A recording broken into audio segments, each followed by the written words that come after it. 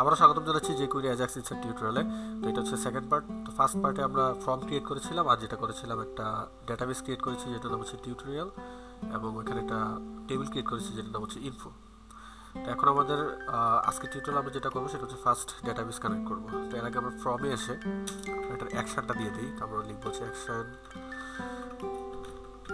Insert dot PHP তারপর এটার method হচ্ছে পোস্ট।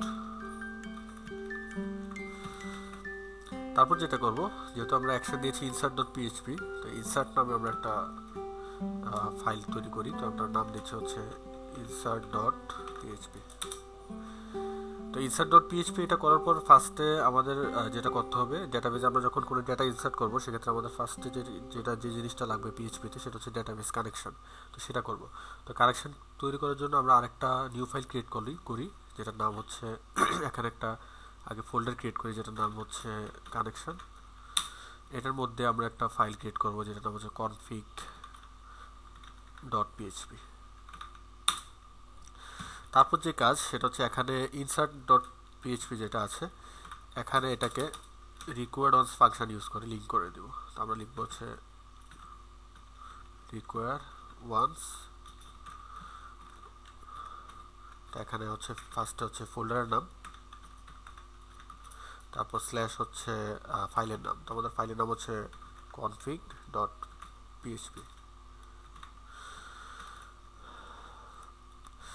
তারপর যে কাজ, সেটা হচ্ছে ডেটাবেস কানেক্ট করা ডেটাবেস কানেকশনের জন্য যে কোড সেটা করা, তো সেটা আমরা কনফিগ ডট পিএইচপিতে করব। তো সেটা করার জন্য ফার্স্ট হচ্ছে আমাদের দিতে হবে পিএইচপি পিএইচপি ট্যাগ শেষ।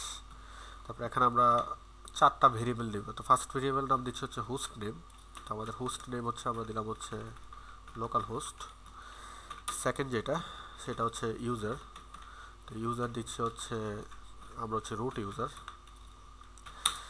আর তারপর যেটা, সেটা হচ্ছে পাসওয়ার্ড যদি আপনার ডেটাবেজে কোনো পাসওয়ার্ড থাকে সরি যদি মাই স্কুলের রুটে কোনো পাসওয়ার্ড দেওয়া থাকে, তাহলে সেই পাসওয়ার্ডটা এখানে দিবেন। আর যদি পাসওয়ার্ড না থাকে, তাহলে দেওয়া দরকার নেই। আমার এখানে আপাতত কোনো পাসওয়ার্ড নেই সেই জন্য আমি এটা ব্ল্যাঙ্ক রাখলাম। আর লাস্ট যেটা, সেটা হচ্ছে ডিবি মানে ডাটাবেস নেম ডাটাবেস নেম হচ্ছে আমাদের টিউটোরিয়াল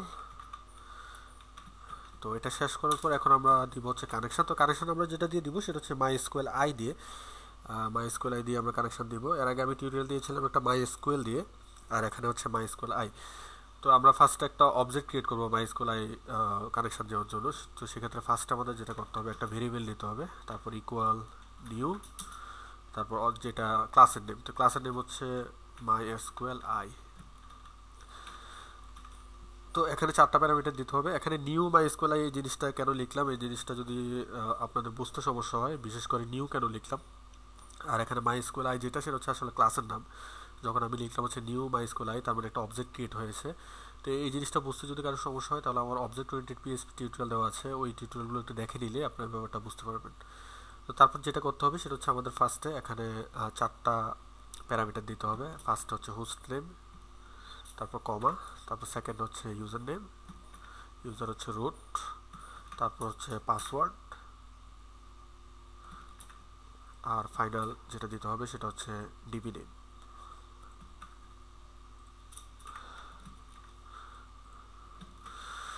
তো এখন এটা চেক করার জন্য একটা ছোট্ট স্টেটমেন্ট আমরা ইউজ করব এখানে। আমি যদি জাস্ট লিখে হচ্ছে ইফ যদি নট কানেক্ট করা হয়, যদি কানেকশান না পায়, অর্থাৎ উপরে আমরা যে অবজেক্টটা লিখেছি, এখানে যে কানেকশানটা দিয়েছি, সেটা যদি না পায়, তাহলে এখানে লিখবে হচ্ছে একো ফেইল্ড আর যদি পায়, তাহলে বলবে যে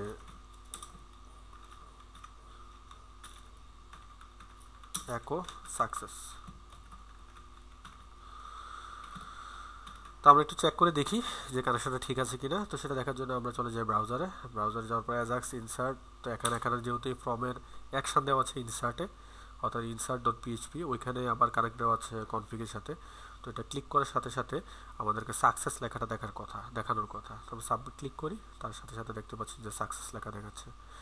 তার মানে হচ্ছে আমরা ডেটাবেজের সাথে আমরা কানেক্ট করতে পেরেছি। পরবর্তী টিউটোরিয়াল আমরা দেখাবো হচ্ছে কীভাবে পিএসপি দিয়ে ইনসার্ট করতে হয়। পিএসপি দিয়ে ইনসার্ট করার পরে আমরা তারপর দেখাবো হচ্ছে যে কুইরি অ্যাজাক্স ওখানে অ্যাপ্লাই করে কীভাবে ইনসার্ট করতে হয়।